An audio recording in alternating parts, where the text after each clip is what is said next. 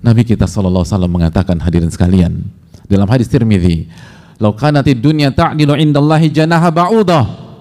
Apabila dunia di sisi Allah senilai dengan salah satu sayap nyamuk. Nyamuk hadirin sekalian. Dia punya dua sayap. Bukan kedua-duanya, satu dari dua sayap tersebut.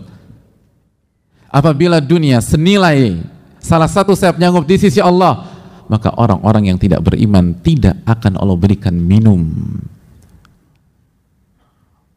ada banyak orang-orang yang tidak beriman, yang kufur kepada Allah, menikmati segala fasilitas-fasilitas dunia.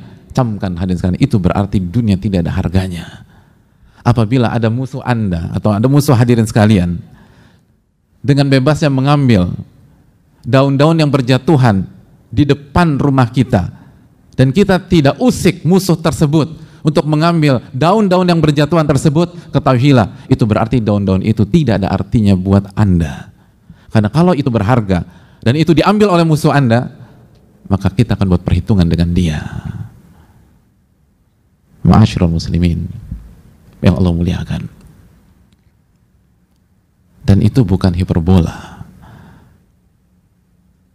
Itu real. Apa artinya? Orang punya harta banyak apabila dia berjuang dengan saturasi 70 di saat dia mengidap covid kemarin misalnya seluruh hartanya tidak ada artinya. Dan kalau dia dikasih pilihan keluarkan seluruh harta anda dan anda selamat pada detik itu. Atau anda berjuang dan saya angkat tangan dia akan kasih semuanya hadirin. Hanya untuk bernafas. Hanya untuk bernafas.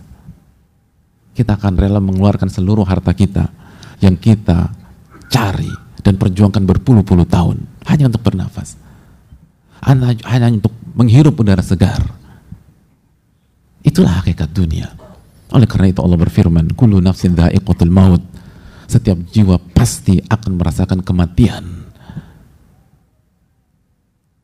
Wa innama ujurakum yaumal qiyamah. Dan seluruh ganjaran akan anda dapatkan secara sempurna pada hari kiamat faman zuhzi'anin nar. Dan barang siapa dijauhkan dari api neraka wa udkhilal jannata dan dimasukkan ke dalam surga faqad faz.